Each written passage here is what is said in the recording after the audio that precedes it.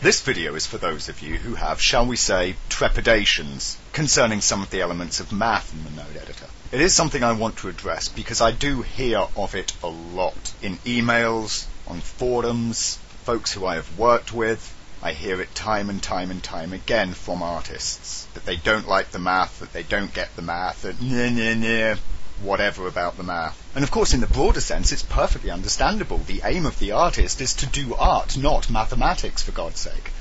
We, of course, as computer graphics artists, find ourselves in a bit of a bind this way, however, because the entire world in which we create everything is one big math structure. Every polygon in the space, every pixel in our final render, its shape, its color, those things are determined at the end of a long series of math processes. Now, of course, our tool is made in such a way that we can just interact with it directly. I can grab and drag my items around here with a mouse or stylus as though I were physically holding them almost. It's natural. We don't need to worry about all of the computations going on in the background that make this stuff happen. But when we build our scenes, it isn't good enough to just be able to grab stuff and wodge it about. We need to be able to move things with precise detail related to other things and so on and so forth. Texture things in a way that they respond to the light type in just the right way. The first step to that is just getting used to the nomenclature. We are quite used in motion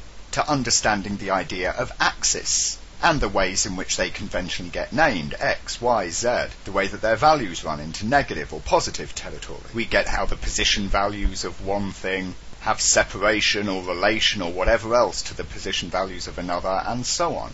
We get the basic names that are used. So one of the things that Nodal does for us that we've seen from the introductions is that it lets us dip behind the background of our scene space here and start pulling out more detailed information and manipulating it in more tightly controlled and ordered ways than just a simple click and drag hands-on approach. And so like it or loathe the idea of it, it is a tool that is available to the artist. And if you don't learn how to use it, then you are limiting yourself. It's like having a pencil and choosing not to learn how to use the eraser on the back end of it. Now, that's a nice argument and all, and I doubt there's anyone who disagrees with it. Everyone can see the sense in it, but we of course come back to this point. I'm a goddamned artist, not a mathematician. Whether or not the tool is there for me to use, I'm an artist. And here's where the real secret comes out, is that of a fashion, the node editor does not require the artist to do much math at all. What it requires the artist to do is use math. And there is a difference. Because using math we are so used to doing. Let's take a peek in our surface editor and just pop open a texture. Now, we're all pretty used to using procedurals, right? I mean, we can look at it and see that we've got different types of noise, for instance, Perlin noise, and we can of course see that that comes from Ken Perlin's noise function, which is long and complex and mathy and not something very nice for an artist. But we don't need to. We don't need to go anywhere near all of that stuff. Because what Perlin noise is to the artist is a pattern, a shape. It's like a really complex rubber stamp that he uses to paint things with. And that may seem really simple. But the point is, that each of these different types of calculation produce different patterns of noise. If you get to know them by name, then you're able to take reasonably complex math processes and just dump them in. If you do on top just a little bit of background reading about noise shaders and the kinds of ways that they're made, you'll find, of course, that different sets of computations are more or less complex. Perlin noise will render very quickly. It's a very efficient noise algorithm. Lattice convolution can slow your renders down. It's a much more complex method of generating noise and takes longer to compute. I've got a different picture, I've got a different handicap, let's say, in terms of render time, and I've got ideas now about how to use this artistically. And to get deeper into that, I've had to do some background reading on noise shaders and the basic principles and concepts behind the math. But have I had to do or learn or figure out any of it for myself? Nothing. Nothing at all. Now that may seem like a lovely and airy fairy way of viewing the whole thing, and you may think that I'm just trying to make some clever reference to, of course, the ways that we have like procedural nodes in the node editor or whatnot. This is not so. It is invariably when confronted with nodes like these that folks cry foul over such a happy clappy description of things and getting on with math as an artist. However, this is not true because all of these things have visual representations. That's what they're doing in a graphics application in the first place. Yes, they have weird names like cross and arccos, the dreaded spot info. But just like noise, you can go through, find the basic concepts of what these things are talking about, whether that be a mathematical function or a piece of data within your 3D scene. And once you have an idea of what they look like, in inverted commas, and you know the names for those different shapes, then when it comes to constructing things in Node Editor, you'll just know which nodes to grab based on the pictures in your head, the same way you do anything else art-wise again, you may think that's great, you know, that'll help you grab a single node, but what about constructing the networks? What about actually building them and putting them together? Well, when it comes to doing that, of course, there is the possibility for invention, the creation of new algorithms, like the noise algorithm. There, you could create such a thing in Node Editor from scratch. But that's a very rare thing for an artist to need to do. And what that means is that when you need to construct some kind of technical network, you can go and look stuff up. Essentially turn to a cookbook, if you like. Once you have an understanding of what individual ingredients taste like, you don't need to invent your own recipes. You don't need to understand the recipes that have been discovered by others. You just need to follow the book. And because of our interface, once we've gone on to make our node networks, we can save them and load them for use later. So it's not even the sort of thing that we have to spend loads of time doing all the time. Find a clever function, build it, save it. And once you get into doing that, you come upon a technique of art math I would probably refer to as paint by number for want of a better name. Because essentially that is what you can start doing. You do not need an understanding of how to make stuff from scratch. You do not need to be able to do any of the math. You just need to find the appropriate tool and plug them together in the appropriate way. Obviously, I say you can look stuff up. You won't always find an answer for everything. There are many common little things in node networks, and all you need there is just standard logic. And of course, again, being properly familiar with a lot of the names. And so, what we will do further in this fundamental section, and on occasion when necessary in other parts of the series, is we'll start introducing you to some of just the concepts behind some of the most common math terms and tools and introduce you to ways to begin picturing those in your head. Of course, there are a great many things we could go into in that sense. Many different branches, and we're not, of course, going to cover them all. We are here to learn the node editor, not mathematics. So, as such, I recommend some further reading, and this volume here is a fine choice. All you really need starting this book is the absolute basic knowledge of what shapes are, what angles are, basic arithmetic. If you can do that, you'll be fine. It gives really good, clear, easy to understand explanations of all of the math topics that are relevant to computer graphics. That's a fantastic place to go looking. Newtek's very own shader writer, hope I pronounced that right. My Finnish, I'm afraid, sucks immeasurably. He recommends this book, which is more general for mathematics overall, but very nice, short, simple explanations of individual topics. Otherwise, here in this training, we will be looking over a few of the basic concepts and ideas but only those that are the most common, and of course those that are most relevant to this training and the nodes and topics and projects that we'll be working through. So, we're going to start that out. What I'm going to use, by way of example, for this a kind of approach and thinking, is an explanation behind sine, which upsets a lot of artists. I've heard it time and again. Folks just don't get what it means or how it works, or when they might want to use it.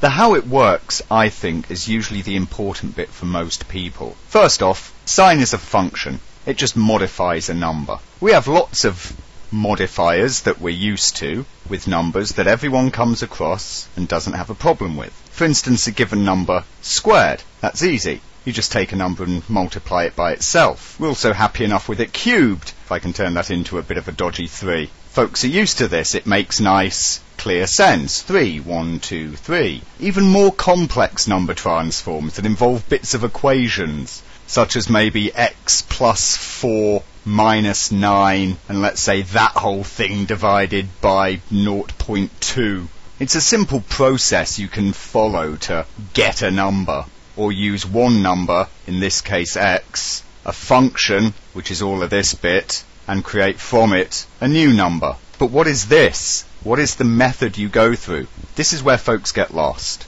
And here's the reason why. It's because sine does not have any kind of explanation like this. It's not that kind of a process. It's not that kind of a function. It is conceptually very much the same, but practically very different. And here's why I think it's a perfect explanation of this whole way of trying to see things. Because the only way that you can explain sine is not with numbers, nor with words, but with pictures. It is the only way you can describe to someone what it is. And pictures ought be a very natural thing for the artist to understand. So, let's take a look at this picture then. Quite simply, the picture is of a circle, no matter how badly drawn that may happen to be. And in the first way we'll look at it, sine is kind of similar to what we were talking about with radians. It's just another way of enumerating the circle here except it's slightly unusual, as it goes from 1 to 0 to negative 1 and back to 0 again. Of course, were this to work the same as degrees or radians or hours and minutes and whatever, then our point 5 would be here. It would be halfway round.